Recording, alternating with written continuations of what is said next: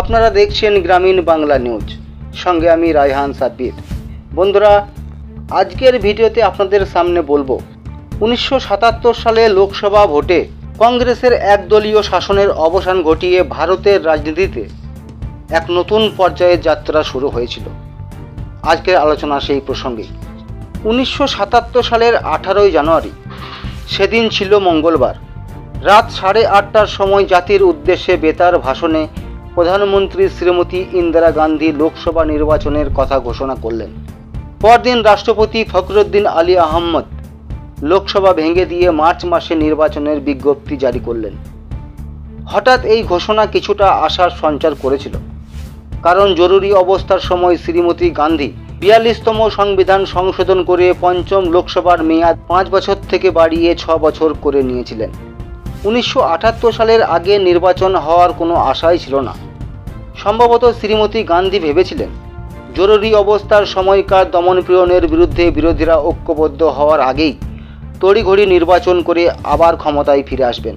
কিন্তু জানুয়ারি মাসের কুড়ি তারিখে সংগঠন কংগ্রেস, ভারতীয় লোকদল, সোশ্যালিস্ট পার্টি ও জনসংঘ দলের নেতারা একত্রিত হয়ে জনতা পার্টি তৈরি করলেন এবং ঐক্যবদ্ধভাবে কংগ্রেসের বিরুদ্ধে নির্বাচনী লড়াইয়ের কথা ঘোষণা করলেন। জয়প্রকাশ নারায়ণের উদ্যোগেই এই দলগুলি ঐক্যবদ্ধ হয়েছিল। এই পরিস্থিতিতে সিপিআইএম পার্টি নির্বাচনে জনতা পার্টির সঙ্গে আসন সমঝোতায় যাওয়ার সিদ্ধান্ত নেয়।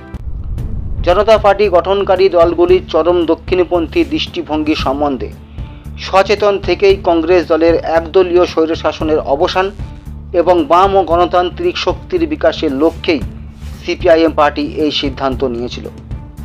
নির্বাচনের দিন যত ঘনিয়ে আসতে লাগল শ্রীমতী গান্ধীর নেতৃত্বাধীন কংগ্রেস থেকে অনেক নেতা পদত্যাগ করে জনতা পার্টির সঙ্গে যোগ দিলেন। দোসরা ফেব্রুয়ারি ইন্দিরা মন্ত্রিসভার প্রবীণ সদস্য জগজীবন রাম কংগ্রেস দল এবং মন্ত্রিসভা থেকে পদত্যাগ করলেন। তিনি কংগ্রেস ফর ডেমোক্রেসি বা গণতন্ত্রী কংগ্রেস নামে নতুন একটি রাজনৈতিক দল গড়লেন। জনতা পার্টির সঙ্গে আসন সমঝোতা করে এই দল একই প্রতীকে নির্বাচনে লড়েছিল। জে বি কৃপালিনী শ্রীমতী বিজয়লক্ষ্মী পণ্ডিতের মতো ব্যক্তিরাও কংগ্রেসের স্বৈরতান্ত্রিকতার বিরুদ্ধে জনতা পার্টির জোটকে সমর্থন করেন। পশ্চিমবঙ্গে সিপিআইএম সহ বামপন্থী দলগুলি জনতা গণতন্ত্রী কংগ্রেসের সঙ্গে আসন সমঝোতা করে এবং নির্বাচনে লড়ে। সিপিআই অবশ্য কংগ্রেসের সঙ্গেই ছিল। নির্বাচনেও কংগ্রেসের সঙ্গে তারা জোট বাঁধে। এ রাজ্যে আসন রফা অনুযায়ী সিপিআইএম কুড়িটি আসনে প্রতিদ্বন্দ্বিতা করে। অন্যদের মধ্যে ফরওয়ার্ড ব্লক তিনটি আরএসপি তিনটি, জনতা পার্টি বারোটি এবং গণতন্ত্রী কংগ্রেস তিনটি আসনে প্রার্থী দেয়। জলপাইগুড়ি আসনে নির্দল প্রার্থী হিসাবে খগেন্দ্রনাথ দাশগুপ্তকে এই জোট সমর্থন করে। জলপাইগুড়ি আসনটি ছিল ফরওয়ার্ড ব্লকের। ঐক্যমতের ভিত্তিতে আসন রফা করার জন্য সিপিআইএম পার্টিকেও কয়েকটি আসন ছেড়ে দিতে হয়েছিল। যেমন হুগলি জেলার আরামবাগ আসনটি জনতা পার্টির নেতা প্রফুল্ল সেনকে ছেড়ে দিয়েছিল। অবশেষে নির্বাচন হলো ষোলোই মার্চ।